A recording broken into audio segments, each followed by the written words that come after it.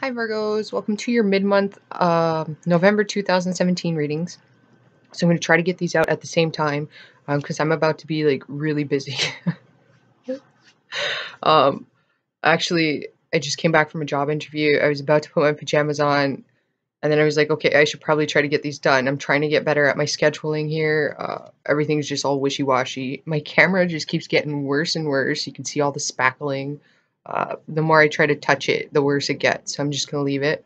Um, I have like, I got a onesie on, but I left the top part of my, of uh, what I wore for my um, interview because I didn't, I didn't want to wear my bunny onesie. You know, it has a little hoodie on it. Where so mid months, hopefully I can keep these shorter. Uh, we're gonna pull one angel card. You can substitute the word angel for whatever it is you believe in. Um, universe is all abundant includes everybody's God, doesn't discriminate. we all have something to learn from each other.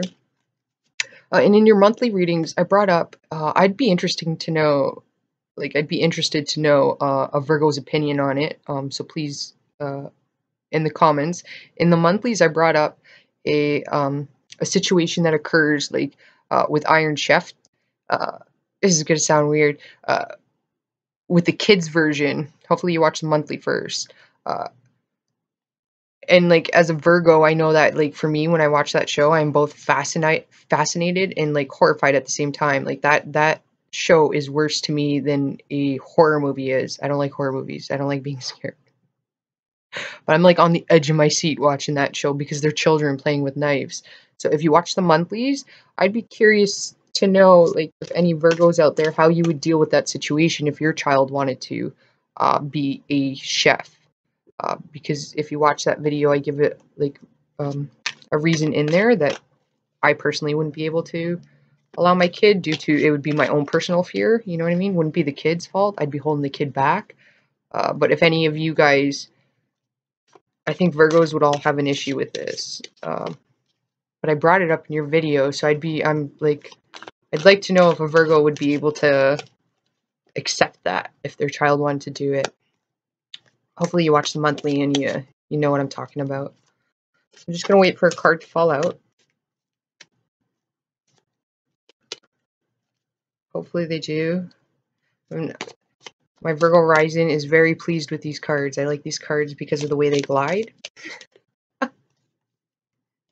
get some sort of sick pleasure out of it or it's like if I'm having a stressful day, this might work for you Virgos too. If you're having a stressful day, there's like these videos on YouTube of like um, making perfect things. Like people that are doing things and like that that are just perfect. I'll have to I'll try to see if I can post a um, link for one of them. There we go. There's a card. Got a popper. I actually get I get calm when I watch one of those videos. They like they satisfy me. So the card we have is called a happy change. And if you get an intuitive hit, follow that.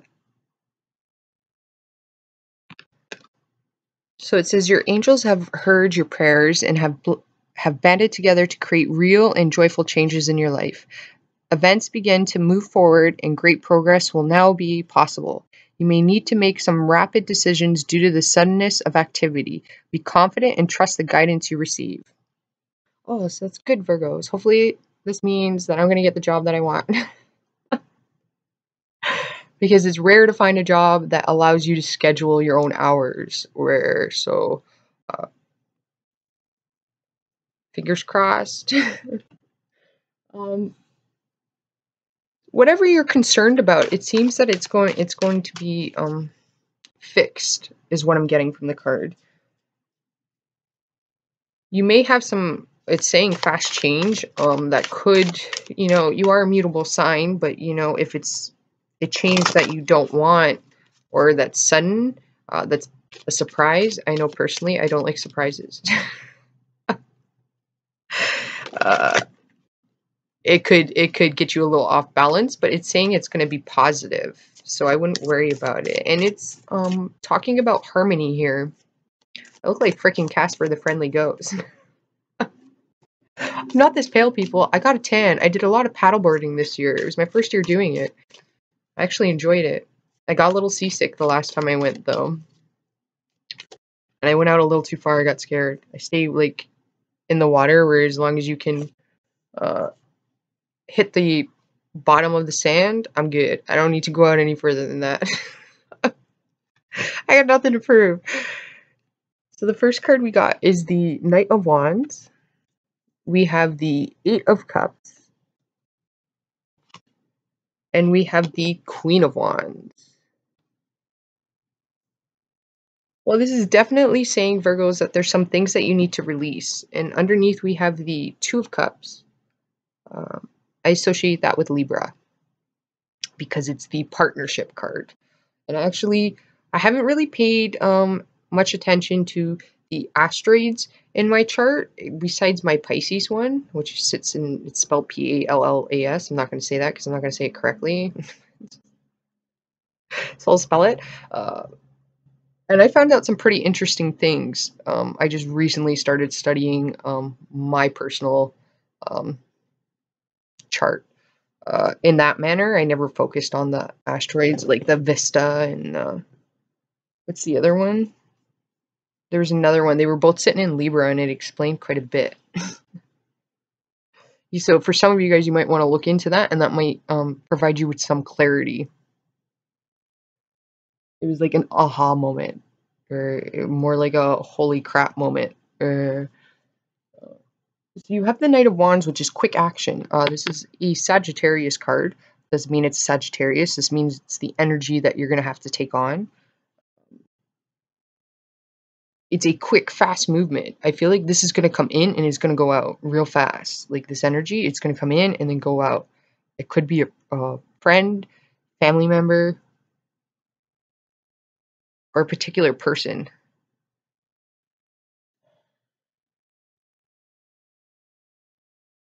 I feel like this person's coming in to help you though. I don't feel like it's in a negative way. I I feel like you're going to be a little for some Virgos you're going to be a little like off like it might put you in a I'm getting like a very like you know like the facial expression that's the way I'm feeling though. It's like a what, you know, or like a confused uh, energy. But this is also saying that you have to release something. This person can come in from the past. You might have to release a fire sign from the past.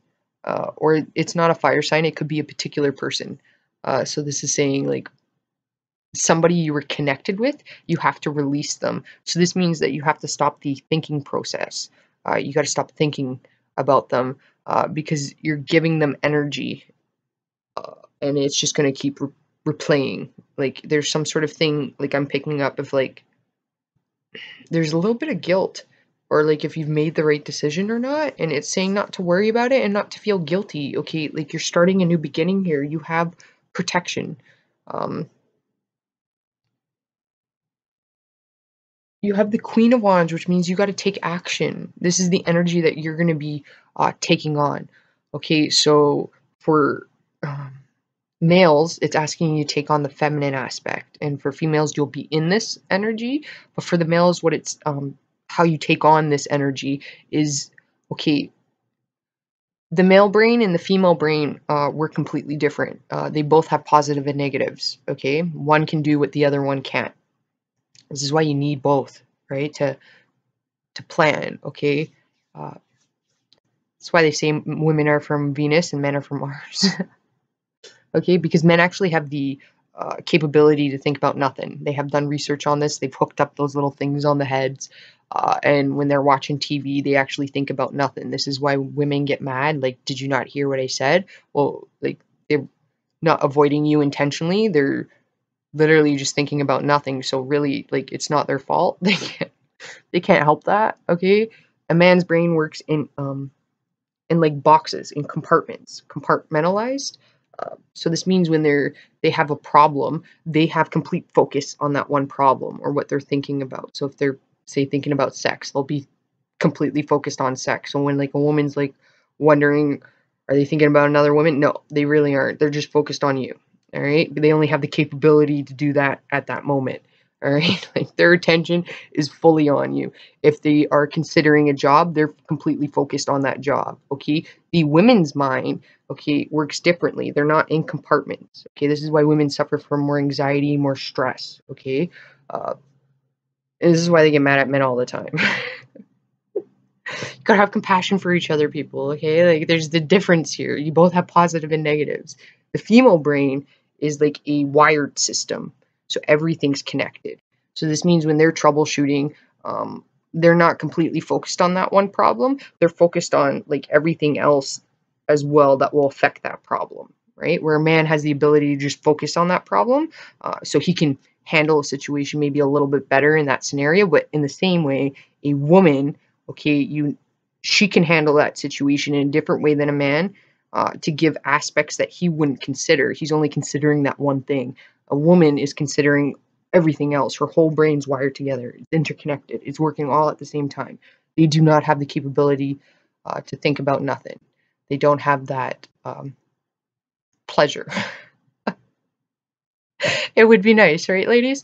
Uh, so for the men, it's saying what the energies they want you to do is they want you to really consider other things in your approach for that one thing. Okay, that might be a little bit hard, but it's like focus on that problem. It's saying for you men, and then after you focus on that problem, try to branch off and consider what that, what the solution, how is it going to affect all of these other things.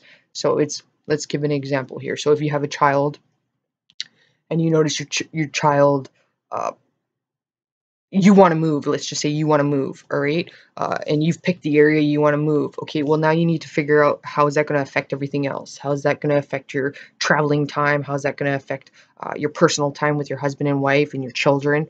Are you going to have more time with your children? Okay so it's not just considering i'm going to make more finances. Okay there's other things that you have to consider. Okay like uh, you pick a job that's traveling then that means you're sacrificing your relationship. Okay so it's like you have to you have to and also if you're moving that affects your children. Like is how is it going to affect my children? Is it going to be a positive? Is it going to be a negative? Right? Like are they doing well in school right now? If they're getting all a's then maybe okay they're in the proper area and you need to like consider that and then make it do you understand what i'm does this make sense? Eh, but for ladies you'll be in your own energy. For males it's just asking you to consider other things with that so for you, you might want to write it down on a piece of paper, like a bubble thought. So have the, once you have your solution, have it right in the center and then branch it out. Uh, so you have the ability um, to see what else it's going to affect. And for each of you, it's going to be different. It, like I'm just giving an example with moving. It could be in any decision you're going to make. It's just asking you males to consider other things. Okay. Uh, for I feel like for you females, you're gonna be quite passionate. You have to release what happened in the past. It's a new start here, a new cycle is kind of what I'm getting. Um, you're protected, so, but this means that okay, you you can't overanalyze things, Virgos. You can't think yourself to death. Okay, this means you just need to trust in yourself, have complete trust in yourself and in your abilities. Uh, you're gonna be quite passionate. It's saying you're gonna get like um Okay, some of you might be very fun too. Uh, you you might be out of your energy a little bit here. You might get a little a little more fun to you. You know what I mean? So this means like I used the Iron Chef in the beginning. Um, they also have uh, a show where it's like mystery basket. So like you pull out all these ingredients and then you got to combine them together and make a meal. Uh, so like if you have a family, okay, um, you can get your children uh, to be the judge on it, or you can include your children. Again, I'd like to know Virgo's opinion on that. Uh, but you and your husband can have a face off, and your children create the mystery basket. And in that show, they have like a 20 minute time limit to make like an appetizer, and then 20 minute um, time limit to make uh, uh, main dish, and then 20 minute or half an hour, I think it is for the main dish, and then 20 minutes for the dessert. You know what I mean? It's like friendly competition, including your children in it. And even if you don't have children, you can do this with your spouse. It's like games. Okay, you can play Monopoly. Monopoly never ends well. I actually just finished my first game of Monopoly, I think like four years ago with a group of friends. And we had to take a picture and like come back the next day to finish the game. Like that was the first game of Monopoly I've ever finished. Uh, it's talking about family game nights and stuff like that, even with your your husband. Romantic. Okay, she's very passionate, this lady. It's like getting your fire back, and it's also activities. Uh, pick up soccer game after dinner in the backyard, just playing, or gardening, uh, like with your children. That gardening is more of the earth sign, but um, fire signs enjoy gardening. My grandmother is a Sag, and my mom's an Aries. I'm a Sag, sun. Those are all suns, and we all love gardening, right? I don't know what else is in their chart, but um, as sun signs, we all love gardening. Getting your hands in stuff, right? She's not afraid to get down and dirty. Um, even like going to a trampoline park, doing something silly like that, that type of thing. But it's definitely like releasing any emotions. This could even be guilt that you feel, okay? For some of you, this is like you're going to have to talk to somebody.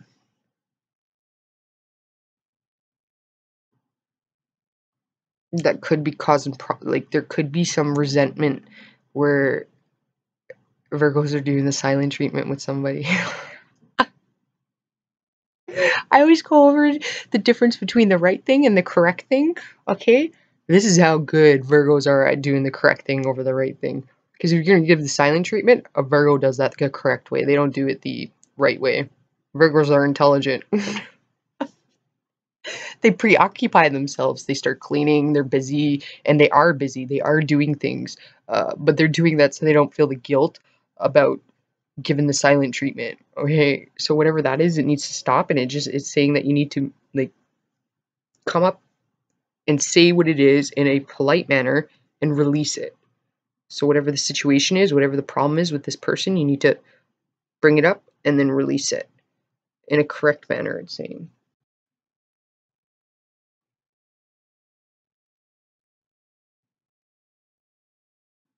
Some of you can get pregnant.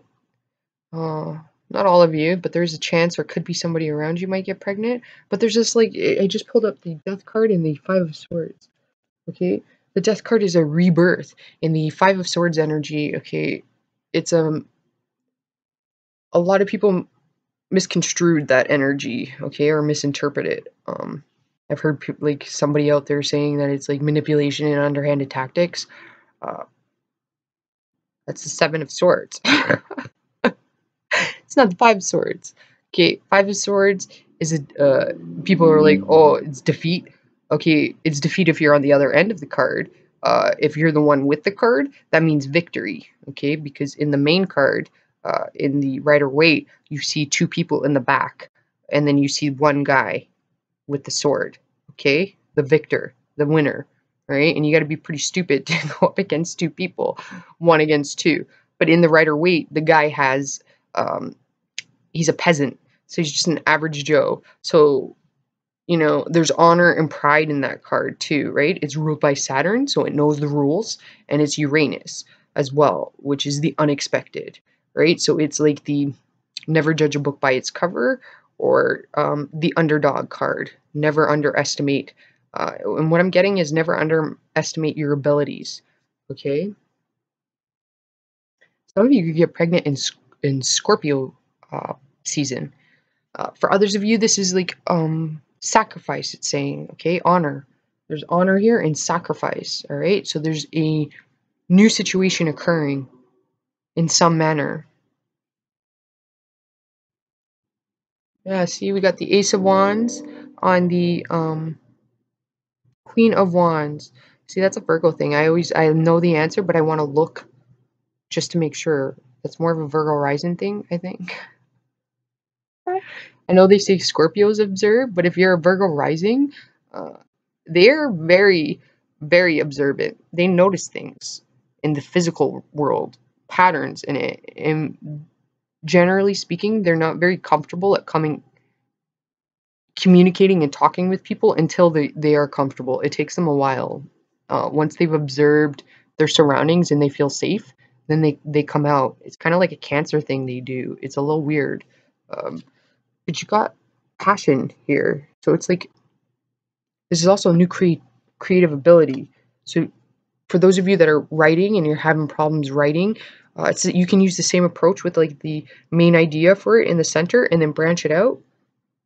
You know, like so you're getting it piece by piece, and then you know branch that out piece by piece, and then eventually you'll kind of have like what you want if you're writing. That's a good a good strategy for writing as well.